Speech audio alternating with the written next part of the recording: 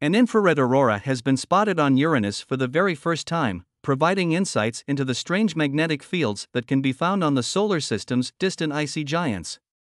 Down here on Earth, aurorae are caused by solar winds clashing with highly energetic charged particles in the atmosphere, resulting in the particles emitting light due to ionization.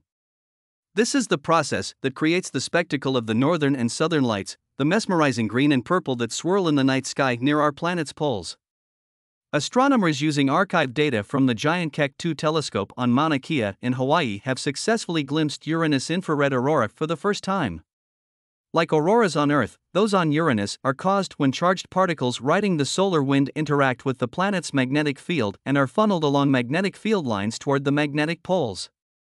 As they enter Uranus' atmosphere, the charged particles collide with atmospheric molecules, causing those molecules to glow.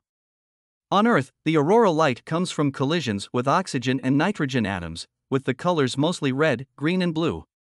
On Uranus, however, the dominant atmospheric gases are hydrogen and helium at much lower temperatures than on Earth. These result in Uranus auroral glow being predominantly at ultraviolet and infrared wavelengths. The ultraviolet aurora on Uranus was first seen in 1986 by NASA's Voyager 2 probe, which flew past the planet that year. It's taken nearly 40 years to detect its infrared counterpart. Using data from the Keck 2 Near Infrared Spectrometer, NIRSPEC, taken all the way back in 2006, astronomers led by graduate student Emma Thomas of the University of Leicester in England identified emission lines from the H3 plus molecule. H3 plus is a trihydrogen cation that contains three protons and only two electrons, meaning it is positively charged.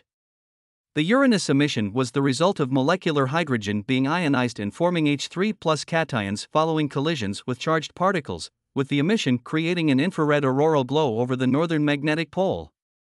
In essence, Thomas's team saw Uranus northern lights.